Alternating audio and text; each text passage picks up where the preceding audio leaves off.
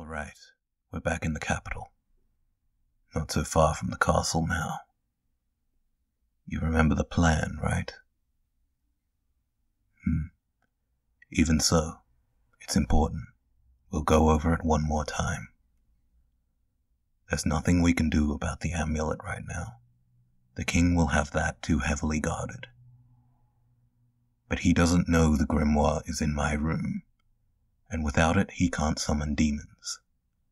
Without demons to control, the amulet is useless anyway. So, we have to get in, get the grimoire, and make our way out. That's the mission. We won't receive a reward for this. All that gold the king promised, and your parole. I'm sorry. We won't be getting any of that. After we're done here, we'll be fugitives in the kingdom of Volmith. I was so glad to hear you say you're on board with this. I'm glad you have enough of a conscience to cast aside what you were promised to spare the world from the horror of demons. So, the first hurdle in our little heist will be to get into the castle. This is where your past crimes have come in handy again. You did great work with your forgery skills creating a fake, relevant text to turn in like we would on our original quest. No one should give us any trouble getting in thanks to that. Not immediately, anyway. Normally, I'd probably need to report to the king immediately, but if we time things right, we can meet Sir Bethlen on gate duty. If we can trick him properly, he'll take the text from us and show it to the king himself to try and sponge off our reward. That should leave the two of us able to move freely through the castle for a short period of time. We head directly to my room, as fast as we can without drawing attention to ourselves by running. We should be able to get in and out of my room with the grimoire before Bethlen gets to the king. There's some paperwork and waiting in line involved with that. It should slow him down. I don't think we'll have enough time to exit the way we came, though.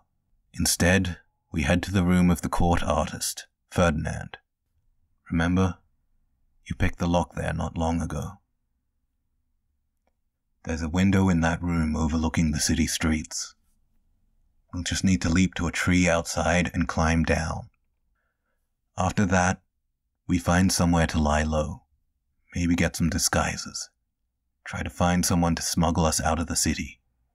Maybe we can talk a farmer into letting us hide in a shipment of straw or something. Once we're out of the capital, we plan our next move on how to get out of the country.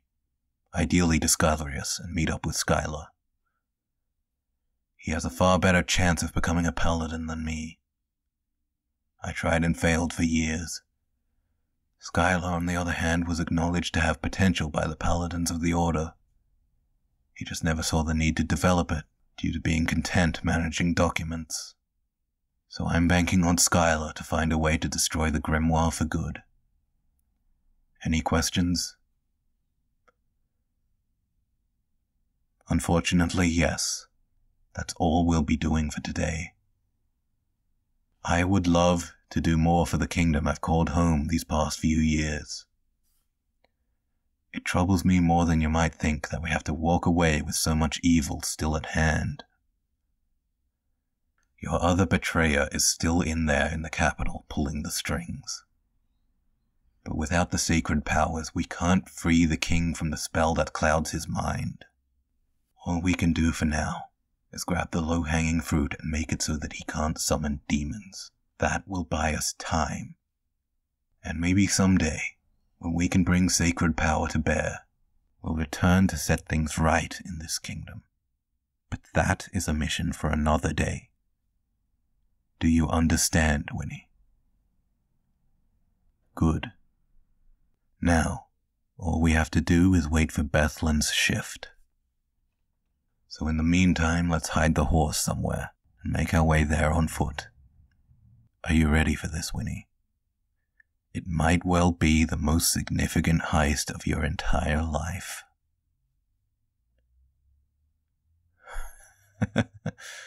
of course, nothing ever shakes your confidence, does it? If it's you that I'm working with, I know we're gonna do great. I can't believe how perfectly this is playing out. Bethlen fell for our scheme hook, line, and sinker. And Whinny's little trick to steal my coin pouch so I could chase them to my room was genius. It was so perfectly in character for us that no one even looked up. We made it to my room in record time without looking suspicious. I can't believe I'm already holding the grimoire. I can only hope that things continue to go so flawlessly. What? Why do I hear footsteps? Well, what do we have here? Ivory? What are you doing here? Your chambers are nowhere near this place. Well, you see, Vaster, we got a message from a carrier pigeon recently, which raised a few eyebrows about what you're keeping in here. Imagine my surprise when I find you in here when I came to check it out. Care to explain what you're doing here when I heard you've come back from an important mission? I would think the king would want to see you immediately. Ah, well, I ran into Sir Bethlen at the gate. Uh, you know how it is with him.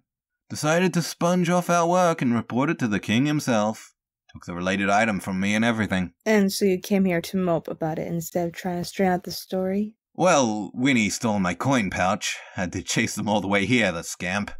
I admit that it took me pretty far afield of my goal to restock my allergy medicine. That checks out. A few people did report seeing that. And that medicine can save your life. Ugh, we don't have time for this, whatever this is. But then I guess that means you're done here, right? I mean, you caught your little thief, didn't you?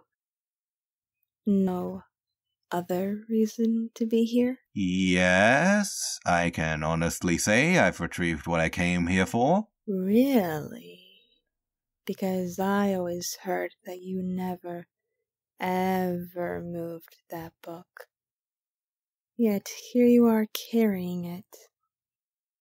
Same book mentioned in the message from the carrier pigeon, by the way. What exactly was this message, anyway? Dear Vaster, I'm embarrassed by how long it took me to put the pieces together after you told me the story, but I've come to realize your memorial for Justino kept you from realizing the truth all these years.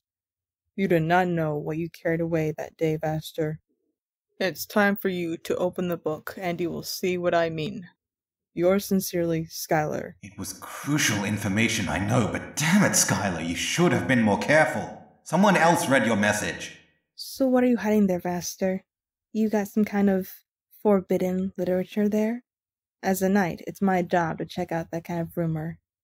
It's what I get paid to do. Can't talk my way through anymore. She's going to check the book. Is this it? Did we fail? Whinny, what are you. Glad to see your companion has a sense of how things really work in the world, Vaster. But we don't even have any money. How did. Unfortunately, no. We haven't struck it rich. This isn't real wealth. It's just some sort of decorative fool's gold. You're taking some anyway. Why?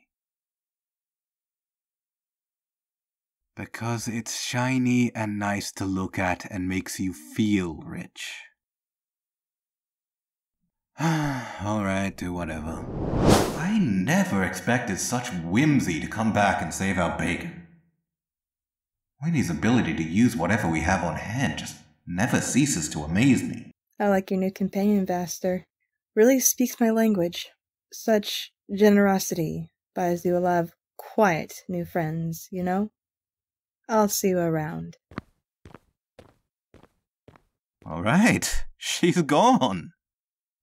We need to hurry, Whinny. We won't have a lot of time left before Bethlen's forgery is. Damn it, run!